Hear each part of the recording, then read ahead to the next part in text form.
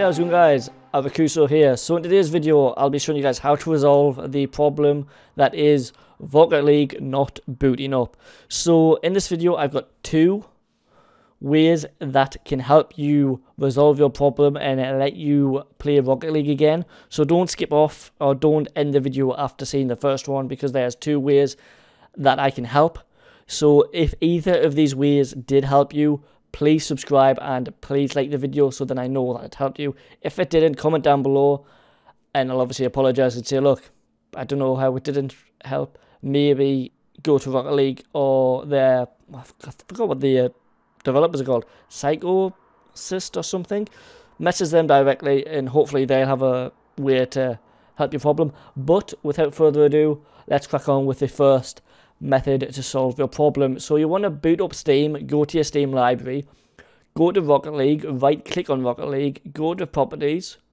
Once you've gone to properties, go to local files, then to go to verify integrity of game files.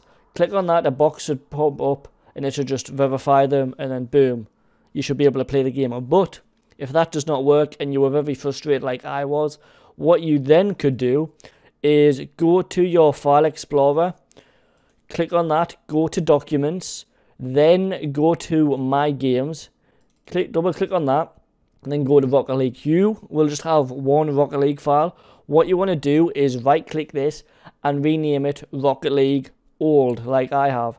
Once you've done that, just minimize the box or exit the box, either or. Then what you want to do is go to Rocket League and just play. It should say preparing to launch.